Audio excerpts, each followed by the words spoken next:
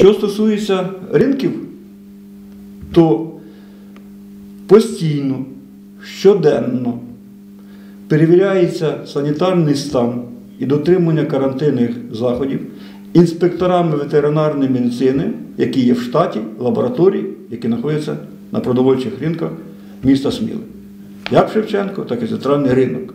Вони щоденно перевіряють.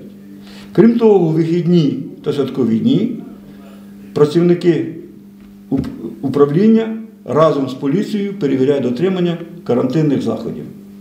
І відмічали в області, що Смілянський центральний ринок є одним найкращим ринком по виконанню карантинних заходів.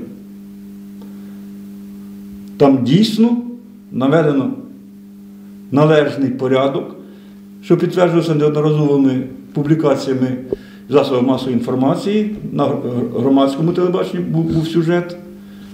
Ну, ви можете переконатися самі в цьому, як дотримуються там правил.